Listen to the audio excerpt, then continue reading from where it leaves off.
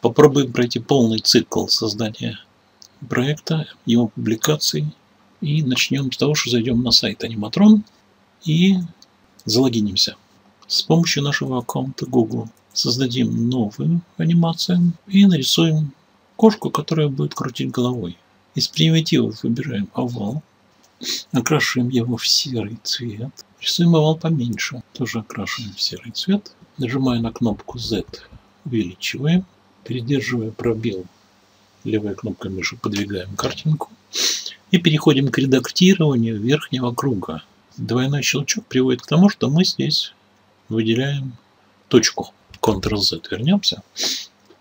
Мы должны сделать две точки, которые останутся на своем месте, около первой.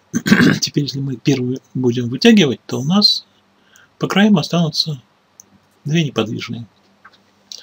И мы получили одно ухо кошки. Точно так же делаем здесь три точки. За среднюю потом мы будем вытягивать это ухо.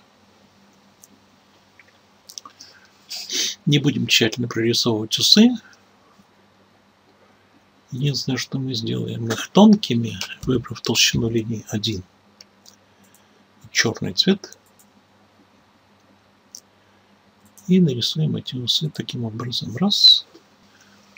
Но мы можем сделать такую вещь.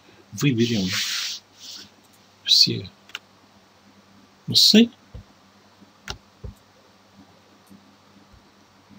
и переместим их на задний план. Потом добавим сюда голову и сгруппируем их.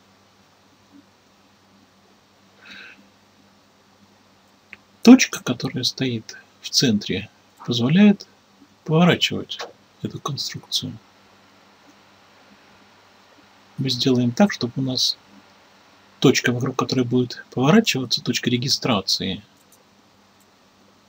сместилась примерно сюда. И теперь голова будет вращаться вокруг этой точки регистрации. Кошка будет покачивать головой. После, по прошествии полутора двух секунд, кошка кладем голову направо,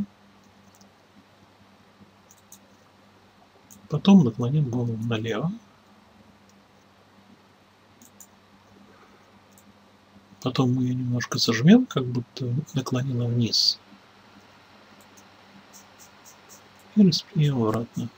Нажимая на кнопку X, уменьшим нашу картинку.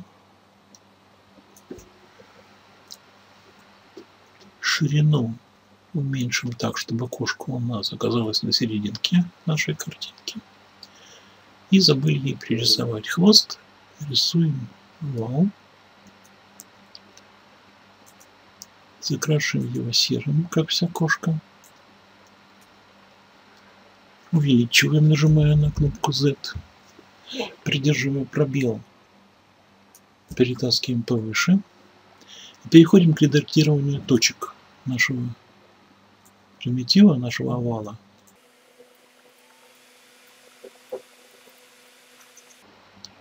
Ну, скажем вот так.